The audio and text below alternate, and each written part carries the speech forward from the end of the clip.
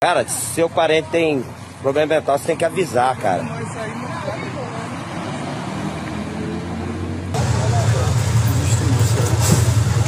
Olha, pera, pô. Vai matar o cara aí dentro do carro. Vai matar mesmo. Meu Deus do céu, cara. É, o cara é trancado nesse. Vai matar o cara ali dentro, mano. Viu com bagulho arde, cara. Arde, meu irmão.